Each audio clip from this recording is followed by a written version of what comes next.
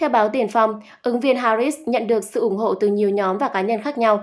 Những người mong chờ không chỉ một làn gió mới như ông Trump làm được trong lần tranh cử đầu tiên, mà là một sự thay đổi lịch sử, nước Mỹ có nữ tổng thống đầu tiên. Vậy yếu tố nào quyết định bà Harris làm được điều đó? Những người ủng hộ nòng cốt của Đảng Dân Chủ và những người cấp tiến. Các nhà lãnh đạo Đảng Dân Chủ, nhiều nhân vật nổi bật trong Đảng Dân Chủ ủng hộ bà Harris vì kinh nghiệm của bà với tư cách là phó tổng thống và công việc của bà trong các vấn đề như nhập cư, quyền bầu cử. Các nhà hoạt động cấp tín và cử tri trẻ. Quan điểm của bà Harris về các vấn đề như chăm sóc sức khỏe, cải cách tư pháp hình sự, biến đổi khí hậu khiến bà trở nên gần gũi với các nhóm cấp tiến trong Đảng Dân Chủ.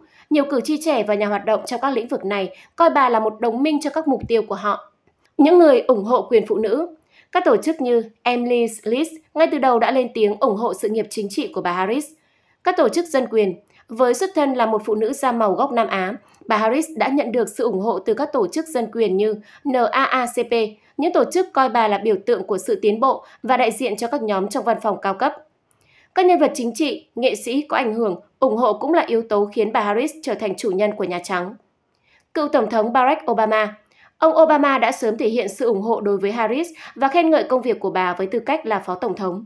Cuối tháng 10, ông Obama cùng bà Harris kêu gọi cử tri da màu tại bang Georgia tham gia cuộc chiến cho tương lai thông qua lá phiếu bầu cử. Ông Obama cũng chỉ trích ứng viên Trump về thất bại trong đại dịch COVID-19. Nhiều thống đốc, thượng nghị sĩ và hạ nghị sĩ Đảng Dân Chủ đã sớm thể hiện sự ủng hộ đối với bà Harris dưới nhiều hình thức khác nhau. Các nghệ sĩ tên tuổi trong video được chia sẻ tối 31 tháng 10, biệt đội siêu anh hùng bày tỏ ủng hộ ứng viên Harris trở thành chủ nhân Nhà Trắng. Cùng ngày, nhóm tài tử Minh Tinh Hollywood công khai ủng hộ bà Harris. Ca sĩ diễn viên Jennifer Lopez trực tiếp tham dự cuộc meeting do chiến dịch của bà Harris tổ chức ở Las Vegas để lan tỏa thông điệp cá nhân, lên án ông Trump xúc phạm người Puerto Rico nói riêng và cộng đồng Mỹ Latin nói chung. Trước đó, nhiều nghệ sĩ tên tuổi đã lên tiếng ủng hộ bà Harris, bao gồm Taylor Swift, Bruce Springsteen, Oprah Winfrey, Eminem, Beyoncé, Madonna, Bad Bunny, Ricky Martin, LeBron James. Các nhà tài trợ và nhà tài trợ chính Bà Harris đã xây dựng được một mạng lưới nhà tài trợ vững mạnh từ các chiến dịch trước đây của bà, bao gồm sự ủng hộ từ thung lũng Silicon và các trung tâm gây quỹ lớn khác. Hậu thuẫn tài chính là điều thiết yếu trong một chiến dịch tranh cử tổng thống và các mối quan hệ sẵn có của bà với các nhà tài trợ Đảng Dân Chủ có thể là một yếu tố quan trọng. Chỉ trong 4 tuần từ khi bà Harris tham gia cuộc đua ngày 21 tháng 7, chiến dịch tranh cử của bà đã huy động được 500 triệu đô la Mỹ, đạt tốc độ gây quỹ nhanh và nhiều chưa từng có. Trump cho rằng cựu hạ nghị sĩ Cộng hòa Cheney, người bị ông coi là phản bội vì ủng hộ bà Harris, nên bị 9 nòng súng bắn vào. Ứng viên Tổng thống Đảng Cộng hòa Donald Trump nói tại sự kiện vận động tranh cử ở thành phố Glendale, bang Arizona ngày 1 tháng 11, đề cập đến cựu nghị sĩ Cộng hòa Liz Cheney. Bà ấy là kẻ hiếu chiến cực đoan, hãy để bà ấy cầm khẩu súng trường đứng đó với chín nòng súng bắn vào mình, được không nào? Và hãy xem bà ấy cảm thấy như thế nào khi những khẩu súng chĩa thẳng vào mặt mình. Ông Trump cũng nói bà Cheney rất xuẩn ngốc và đám đông ủng hộ ông hưởng ứng hò reo. Bà ta luôn muốn gây chiến khi còn đảm đương chức vụ tại Hạ viện, cựu Tổng thống nói thêm. Bà Cheney, người đã xuất hiện cùng ứng viên Đảng Dân Chủ Kamala Harris trong các cuộc vận động tranh cử ở hai bang chiến trường Pennsylvania và Wisconsin nhằm thu hút cử tri Cộng hòa bất mãn, cáo buộc ông Trump đưa bạo lực vào nền chính trị theo cách chúng ta chưa từng chứng kiến. Cựu nghị sĩ đăng trên mạng xã hội X. Những người như ông ấy dùng cái chết đe dọa người chống lại họ. Chúng ta không thể giao phó đất nước và tự do của mình cho người nhỏ mọn, đầy thù hận, nhẫn tâm và bất ổn như vậy. Chiến dịch tranh cử của bà Harris cũng chỉ trích ông Trump về phát biểu này. Phát ngôn viên chiến dịch tranh cử Ian Sams nói, các bạn có hai lựa chọn. Một là Donald Trump, người nói về việc đưa thành viên danh tiếng của Đảng Cộng Hòa ra xử bắn, và người còn lại là Phó Tổng thống Harris, người muốn đưa thành viên Cộng Hòa vào nội các của bà. Đó là sự khác biệt trong cuộc đua này. Caroline Leavitt, phát ngôn viên chiến dịch tranh cử của ông Trump, nói cựu Tổng thống đang giải thích rõ ràng rằng người hiếu chiến như Liz Cheney sẽ khơi mào những cuộc chiến rất nhanh và đưa người Mỹ ra chiến trường chiến đấu cho họ, thay vì tự mình tham chiến. Tổng trưởng lý Arizona Chris Mayes, thành viên Đảng Dân Chủ cho biết, văn phòng của bà đang điều tra xem liệu những bình luận của ông Trump có phải là mối đe dọa gây chết người theo luật của bang hay không. Khi còn là nghị sĩ, Cheney, con gái của cựu phó tổng thống Dick Cheney, thường xuyên chỉ trích ông Trump và bác bỏ tuyên bố của ông rằng Đảng Dân Chủ đã đánh cắp cuộc bầu cử năm 2020. Tháng 1 năm 2021, bà là một trong 10 nghị sĩ Cộng hòa tại Hạ viện đứng về phe Dân Chủ khi bỏ phiếu ủng hộ luận tội Trump với cáo buộc kích động bạo loạn. Thượng viện Mỹ do Đảng Cộng hòa kiểm soát một tháng sau đó đã tha bổng ông Trump. Trump và các thành viên cấp cao Đảng Cộng hòa thường xuyên cáo buộc bà Cheney phản bội vì động thái trên. Trong cuộc bỏ phiếu kín tháng 5 năm 2021, Cheney bị cách chức Chủ tịch đoàn nghị sĩ Cộng hòa tại Hạ viện. Một năm sau, bà mất ghế nghị sĩ trong cuộc bầu cử giữa kỳ khi bị các thành viên Cộng hòa ủng hộ Trump quay lưng. Cheney sau đó nói với các phóng viên rằng bà sẽ tiếp tục đấu tranh vì các nguyên tắc bảo thủ và phản đối Trump. Khi vận động tranh cử cùng bà Harris, Cheney kêu gọi cử tri Cộng hòa bỏ qua bất đồng đảng phái để ủng hộ phe Dân Chủ và không nên bỏ phiếu cho người đặt ra mối đe dọa đối với nền Dân Chủ như ông Trump. Theo báo Việt Nam Net, trong cuộc khảo sát được Jogorian công bố, ứng cử viên Đảng Dân Chủ Kamala Harris đang dẫn trước đối thủ Đảng Cộng hòa Donald Trump với tỷ lệ ủng hộ toàn quốc là 47% và 46%. Dữ liệu khảo sát được Jogorian công bố cho thấy tỷ lệ ủng hộ bà Harris và ông Trump trên toàn nước Mỹ vẫn giữ nguyên từ hôm 24 tháng 10. Trong khi đó, số liệu khảo sát tại 7 bang chiến địa cho thấy cả hai ứng viên đều giành lợi thế ở ba bang. Duy chỉ có Nevada là nơi tỷ lệ ủng hộ của cả ông Trump và bà Harris đều đạt khoảng 48%. Được biết, ứng viên Cộng hòa Trump Đối thủ Dân chủ Harris trong ngày 1 tháng 11 đều tổ chức sự kiện vận động tranh cử ở thành phố Milwaukee, thuộc bang Washington, nơi bà Harris đang dẫn trước ông Trump khoảng 2% sự ủng hộ từ cử tri Mỹ. Dự kiến cuộc bầu cử Tổng thống Mỹ sẽ chính thức diễn ra vào ngày 5 tháng 11 tới. Theo báo VN Express, cựu Tổng thống Clinton vận động tranh cử cho bà Harris ở Wisconsin và Michigan, ca ngợi đề xuất chính sách của bà và chỉ trích ứng viên Cộng hòa Trump. Ông Clinton, cựu Tổng thống Đảng Dân Chủ nói trong buổi vận động ở hạt Winnebago, bang Wisconsin ngày 31 tháng 10. Kế hoạch kinh tế, giáo dục và y tế của bà ấy đều tốt hơn rất nhiều. Theo cựu Tổng thống, ông tham gia chiến dịch vận động tranh cử cho bà Harris không vì bất cứ điều gì khác ngoài tương lai của các cháu tôi. Ông cho hay, tôi muốn cháu gái 10 tuổi lớn lên với những quyền lợi mà mẹ cháu từng có. Ông nhấn mạnh, ngoài việc có những ý tưởng tốt hơn về vấn đề chính sách, bà Harris còn tạo nên khác biệt lớn với ứng viên Đảng Cộng hòa Donald Trump ở chỗ biết cân nhắc những quan điểm bất đồng. Cựu Tổng thống cũng chỉ trích ông Trump vì những hành động sau cuộc bầu cử năm 2020 và công kích ứng viên Phó Tổng thống Đảng Cộng hòa J.D. Vance vì đã đánh mất chút lòng tự trọng cuối cùng khi nói kỳ bầu cử trước có gian lận. Tại điểm dừng chân ở thành phố Milwaukee của bang Wisconsin, ông kêu gọi người dân đi bỏ phiếu. Ông cho hay thêm rằng kết quả cuộc đua vào Nhà Trắng có thể được định đoạt tại bang này. Vì con cháu của chúng ta và vì nước Mỹ, hãy đi bỏ phiếu, chúng tôi rất cần mọi người. Trong cuộc vận động ở thành phố Muskegon, Hess, bang Michigan hôm 30 tháng 10, ông Clinton cũng khuyến khích cử tri ủng hộ bà Harris. Cựu Tổng thống phát biểu trước người ủng hộ ứng viên Đảng Dân Chủ. Tôi không nghĩ sẽ là đúng đắn khi nói rằng mọi người phải bầu cho Trump chỉ vì nền kinh tế tốt hơn dưới thời ông ấy. Tôi không nghĩ như vậy. Fox News cho rằng phát biểu này đồng nghĩa ông Clinton thừa nhận nền kinh tế tốt hơn dưới thời chính quyền Trump. Trudeau Dixon, thành viên Đảng Cộng Hòa từng tranh cử chức thống đốc Michigan trong cuộc bầu cử giữa kỳ năm 2022, nói với truyền thông rằng tôi bắt đầu tự hỏi liệu ông ấy có phải là người đại diện bí mật cho chiến dịch tranh cử của Trump hay không. Tuy nhiên, Clinton khẳng định ông đến Michigan để ủng hộ ứng viên Đảng Dân Chủ nhiệt thành vì Kamala Harris sẽ là tổng thống tốt hơn Donald Trump. Theo báo VN Express, video trên mạng xã hội cho thấy một cử tri Mỹ bấm chọn ông Trump nhiều lần nhưng không thành công. Cuối cùng máy bỏ phiếu lại hiển thị chọn bà Harris. Giới chức sau đó đã kiểm tra thiết bị. Văn phòng thư ký hạt Lauren, bang Kentucky của Mỹ thông báo cho ngừng hoạt động một máy bỏ phiếu cho ngày 31 tháng 10.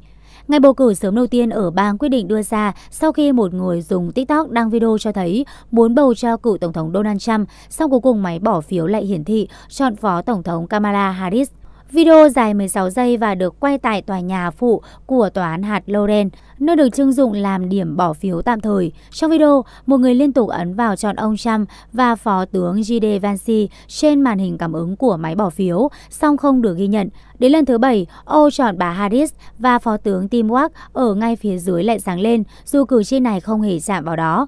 Video nhanh chóng nhận được 178.000 lượt chia sẻ và hàng chục ngàn bình luận trên TikTok. Thư ký hạt Lauren Tony Brown Đảng viên Cộng hòa cho biết dù nhân viên của ông không thể tái hiện lỗi đó, họ đã cho máy bỏ phiếu trên ngừng hoạt động để mang đi kiểm tra ngay khi nhận được thông tin. Theo yêu cầu của ông Brown, một điều tra viên đến từ văn phòng Tổng trưởng lý bang Kentucky tối cùng ngày đến kiểm tra máy. Sau vài phút thử, người này đã tái hiện được lỗi trên một lần, song không thể làm được lần thứ hai. Ông Bright cho biết lỗi đó xảy ra khi người dùng chạm vào khoảng trống nằm giữa hai ô chọn. Ông nói, tôi ghét thấy điều này xảy ra ở hạt Lauren. Chúng tôi luôn nỗ lực để đảm bảo các cuộc bầu cử diễn ra chính xác, an toàn và bảo mật. Cô máy bị lỗi là thiết bị đánh dấu phiếu bầu kỹ thuật số. Cử tri bỏ phiếu giấy vào rồi chọn ứng viên trên màn hình. Sau khi rút lá phiếu ra, cử tri kiểm tra để đảm bảo không chọn nhầm, sau đó bỏ phiếu vào máy quét gần đó để nhập lựa chọn của mình. Ông Brown nói trước đó, chưa từng có ai phản nàn về cỗ máy trên, vài người đăng video cuối cùng đã có thể lựa chọn đúng như ý muốn. Thiết bị này đã đưa vào hoạt động trở lại, không phát hiện thêm vấn đề gì nữa, theo thư ký hạt Lauren. Văn phòng của Tổng thống thư ký bang Kentucky Michelle Adams, đảng viên Cộng hòa cho biết chưa nhận được khiếu nại nào về việc chuyển đổi phiếu bầu. Chiến dịch tranh cử của ông Trump và bà Harris chưa bình luận về thông tin. Theo báo VOV, chưa đầy một tuần trước ngày bầu cử, ứng cử viên Đảng Dân Chủ, Phó Tổng thống Kamala Harris liên tục xuất hiện cùng các ngôi sao hạng A, những nhân vật nổi tiếng trong chiến dịch vận động tại các bang chiến địa cạnh tranh khốc liệt như Arizona và Nevada. Đêm 30 tháng 10 tại Madison, Wisconsin, hơn 13.000 người đã tham dự buổi hòa nhạc vận động của bà Harris, có Mumford và Son, Galaxy Abram và Nation tham gia biểu diễn. Trong một sự kiện tại Phoenix, Arizona, ngày 31 tháng 10, bà Harris xuất hiện cùng Lottie Dead Note, ban nhạc nổi tiếng với các bài hát mô tả hoàn cảnh khốn khổ của những người nhập cư không có giấy tờ.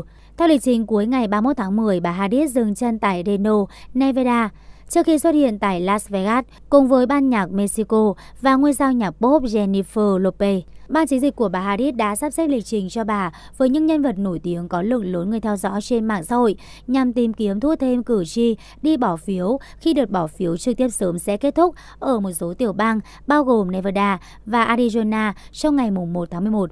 Mặc dù chiến lược vận động cùng các ngôi sao của bà Harris thu sự chú ý trong những tháng gần đây, nhưng sự kiện của bà ngay từ đầu đã cho thấy sự khác biệt. Với Tổng thống Joe Biden, các nhân vật nổi tiếng xuất hiện trong một cuộc vận động tranh cử được lên kế hoạch để nhắm đến từng cụ thể như phụ nữ trẻ, nam giới lớn tuổi, cử tri da màu hay các cử tri gốc Latin. Cuộc vận động của bà Harris vào tối ngày 1 tháng 11 theo giờ Mỹ tại Milwaukee, Wisconsin có sự góp mặt của Gorilla, Folemili, MC Litter, Sweetley Boret và DJ Gemini Gilly. Ca sĩ nhạc rap kiêm nhạc sĩ Caribe cũng phát biểu tại sự kiện này. Chiến dịch Hadid cho biết các hoạt động biểu diễn nổi bật trong các cuộc vận động của Phó Tổng thống được thiết kế để tạo bầu không khí lạc quan và hòa đồng.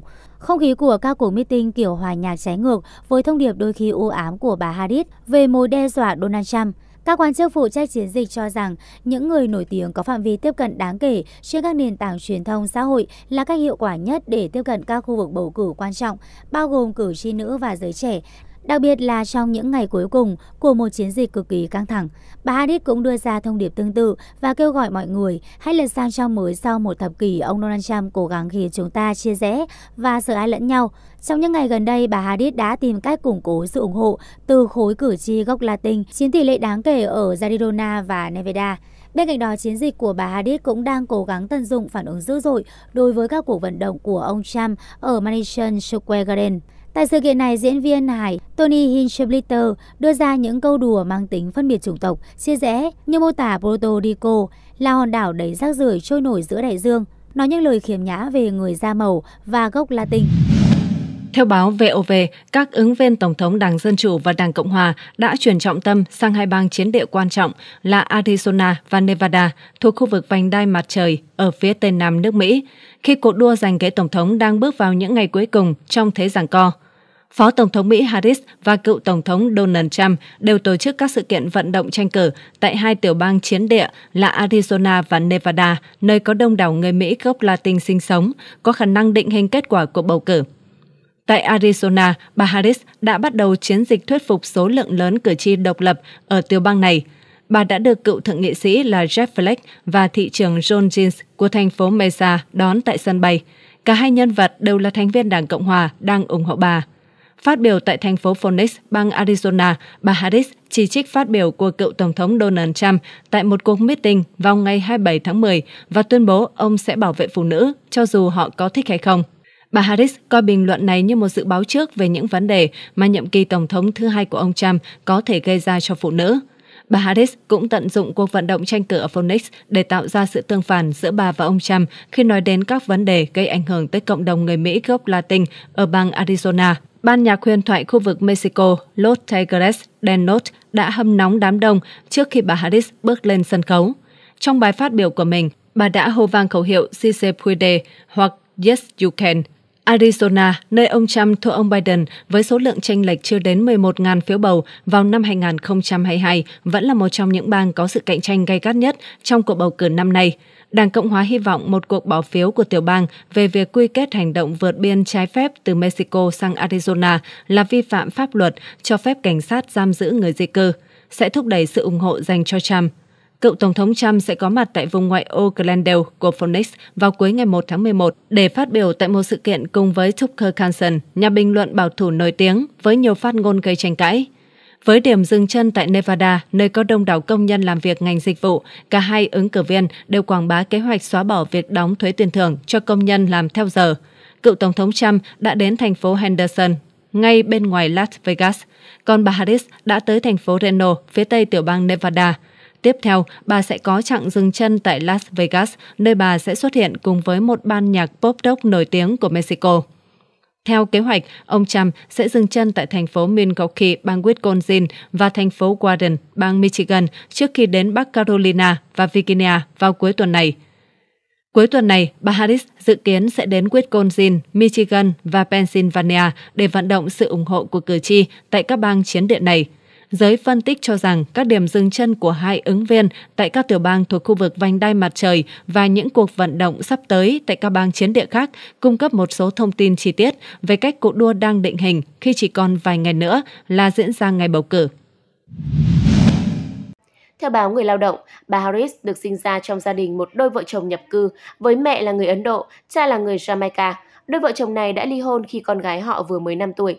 Sống cùng mẹ, bà Harris và em gái đã lớn lên giữa sự hòa trộn văn hóa Ấn Độ với văn hóa của người da màu tại thành phố Oakland, bang California. Theo đài BBC, nguồn gốc và quá trình được nuôi dạy giữa văn hóa của hai chủng tộc có thể giúp bà Harris dễ dàng tiếp cận và thu hút nhiều người Mỹ hơn. Những vùng đất có sự thay đổi nhân khẩu học nhanh chóng sẽ coi bà là biểu tượng của khát vọng. Bà Harris cũng mô tả thời gian học tập tại Đại học Howard, một trong những viện đại học dành cho người da màu nổi tiếng nhất cả nước, là một trong những trải nghiệm hình thành nên cuộc đời bà. Theo BBC, bà Harris đã bắt đầu sự nghiệp chính trị của mình với tư cách là công tố viên quận hoặc công tố viên cấp cao cho hạt Alameda và sau đó là thành phố San Francisco giai đoạn 2004-2011. Sau đó bà làm nên lịch sử khi trở thành tổng trưởng lý bang California, trở thành người phụ nữ đầu tiên và là người da màu đầu tiên trở thành công tố viên hàng đầu tại bang đông dân nhất nước Mỹ bà Harris đã tận dụng đà phát triển đó để thúc đẩy chiến dịch tranh cử thành công năm 2016 với tư cách là thượng nghị sĩ tiếp theo của bang California, một vị trí mà bà đã gây tiếng vang với phong cách công tố viên của mình tại các phiên điều trần. Tuy vậy, bà không thành công trong chiến dịch tranh cử tổng thống năm 2020 vì những khoảnh khắc tranh luận thất bại. Bà dường như gặp khó khăn trong việc nêu rõ hệ tư tưởng và cương lĩnh chính sách của mình khi đó. Chiến dịch tranh cử của bà đã thất bại chỉ sau chưa đầy một năm và chính ứng viên Đảng Dân Chủ năm đó, nay là Tổng thống Mỹ Joe Biden, đã đưa người phụ nữ 59 tuổi này trở lại sự chú ý khi chọn bà làm liên danh Phó Tổng thống. Ông Gil Duran, cựu giám đốc truyền thông của bà Harris, gọi đây là một sự đảo ngược vận mệnh lớn. Ông Duran nói, nhiều người không nghĩ bà ấy có đủ kỷ luật và sự tập trung để thăng tiến lên vị trí trong Nhà Trắng nhanh như vậy, mặc dù mọi người đều biết bà ấy có tham vọng và tiềm năng trở thành ngôi sao. Rõ ràng là bà ấy có tài năng bẩm sinh. Trong thời gian làm Phó Tổng thống Mỹ, bà Harris tập trung vào một số sáng kiến quan trọng và đóng vai trò hàng đầu trong nhiều thành tựu được ca ngợi nhất của chính quyền ông Biden. Bà cũng lập kỷ lục mới về số phiếu bầu phá vỡ thế bế tắc cao nhất của một Phó Tổng thống trong lịch sử Thượng viện Mỹ, giúp thông qua đạo luật giảm lạm phát và kế hoạch cứu trợ nước Mỹ. Cuộc chiến về quyền sinh sản đã trở thành tâm điểm trong suốt Đại hội Đảng Dân Chủ vào tháng 8, phù hợp với thông điệp truyền cảm hứng rộng lớn hơn của bà Harris, tự do. Bà Harris cũng đang tìm cách giới thiệu lại mình với các cử tri khi một số cuộc thăm dò cho thấy nhiều người coi đối thủ của bà, cựu Tổng thống Mỹ Donald Trump, gần với trung tâm của quang phổ chính trị hơn. Trong chiến dịch tranh cử năm 2020, bà đã ca ngợi các khuynh hướng tiến bộ về nhập cư và các vấn đề khác, nhưng liên tục phải đối mặt những chỉ trích về quá khứ làm công tố viên của mình. Bà cũng nêu bật việc ông Trump bị kết án trong khi bà là đại diện của lực lượng thực thi pháp luật. Nữ ứng viên hàng đầu của Đảng Dân Chủ cũng hứa sẽ thực hiện chương trình nghị sự tiến bộ nhằm nâng cao đời sống của những gia đình trung lưu như gia đình bà. Bà Harris nói, trong suốt sự nghiệp của mình, tôi chỉ có một khách hàng duy nhất, người dân bầu cử Tổng thống Mỹ sẽ kiểm phiếu và công bố chủ nhân Nhà Trắng khi nào? Theo báo Tuổi Trẻ, bầu cử Tổng thống Mỹ dự kiến chính thức diễn ra từ ngày 5 tháng 11. Người chiến thắng sẽ phục vụ nhiệm kỳ 4 năm tiếp theo tại Nhà Trắng kể từ khi nhậm chức vào ngày 20 tháng 1 năm 2025. Các cử tri tham gia cuộc bầu cử không chỉ bầu Tổng thống mà còn bỏ phiếu để chọn ứng viên cho các ghế Thượng viện và Hạ viện trong Quốc hội Mỹ. Mỗi bang của Mỹ đều có những quy định khác nhau về cách thức kiểm phiếu, vì vậy việc công bố kết quả có thể chậm hơn vài ngày so với dự kiến. Như thường lệ, bảy tiểu bang chiến trường có khả năng quyết định kết quả bầu cử. Arizona, Georgia, Michigan, Bắc Carolina, Pennsylvania, Wisconsin và Nevada đều ban hành quy định riêng về cách thức xử lý và kiểm phiếu. Việc bỏ phiếu qua thư rất phổ biến ở Arizona. Trong cuộc bầu cử năm 2020, gần 90% cử tri đã bỏ phiếu sớm và hầu hết là bỏ phiếu qua thư. Ngoài Arizona, bỏ phiếu sớm cũng rất phổ biến tại Georgia. Giới chức tiểu bang này dự kiến 65 đến 70% cử tri sẽ bỏ phiếu sớm tại các địa điểm được quy định. Trong khi đó, phiếu vắng mặt và phiếu bầu qua thư có thể chiếm khoảng 5%. Theo quy định của bang Georgia, các nhân viên phải đợi đến ngày bầu cử mới được tiến hành kiểm phiếu. Ngoài ra, tất cả phiếu bầu sớm, bao gồm trực tiếp và qua thư, phải được kiểm và báo cáo kết quả vào 20 giờ ngày 5 tháng 11 giờ địa phương. Trong khi đó, bang Michigan đã triển khai hình thức bỏ phiếu sớm trực tiếp lần đầu tiên kể từ cuộc bầu cử năm 2020, cho phép các khu vực có hơn 5.000 cử tri bắt đầu xử lý và kiểm phiếu bầu qua thư trước ngày bầu cử 8 ngày. Giới chức Michigan cho biết quy định mới có mục đích đẩy nhanh tiến độ kiểm phiếu và công bố kết quả sớm hơn so với năm 2020. Nhằm tránh lặp lại tình trạng chậm trễ như mùa bầu cử trước, một số khu vực tại bang Nevada đã bắt đầu xử lý phiếu bầu qua thư từ ngày 21 tháng 10 và kiểm phiếu bầu trực tiếp sớm vào ngày bầu cử. Reuters cho biết các cử tri tại tiểu bang này ngày càng chuộng hình thức bỏ phiếu qua thư. Nevada cũng là tiểu bang duy nhất trong số 7 bang chiến trường chấp nhận các lá thư gửi phiếu bầu đến muộn trong vòng 4 ngày kể từ ngày bầu cử. Tương tự Nevada, các viên chức Bắc Carolina cũng bắt đầu kiểm phiếu bầu qua thư trước ngày 5 tháng 11. Sau khi các điểm bỏ phiếu đóng cửa, bang này sẽ công bố kết quả sơ bộ dựa trên phiếu bầu qua thư và phiếu bầu sớm. Các phiếu bầu vào ngày bầu cử sẽ được kiểm suốt buổi tối, với kết quả đầy đủ dự kiến có trước nửa đêm. Trong khi đó, Pennsylvania, tiểu bang quan trọng bậc nhất trong 7 bang chiến trường, là một trong số ít nơi không xử lý phiếu bầu qua thư từ trước mà chỉ bắt đầu kiểm phiếu từ 7 giờ sáng ngày 5 tháng 11 giờ địa phương. Cuối cùng, giống như Pennsylvania, Pennsylvania, bang Wisconsin chỉ cho phép các quan chức tiến hành kiểm phiếu bầu qua thư vào sáng ngày bầu cử. Điều này có thể dẫn đến việc công bố kết quả trễ hơn nhiều bang khác.